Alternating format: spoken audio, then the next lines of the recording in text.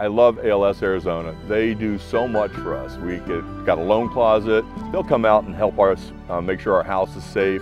Um, a lot of different fundraising events, and, and they'll just support us in, in, our monthly support groups.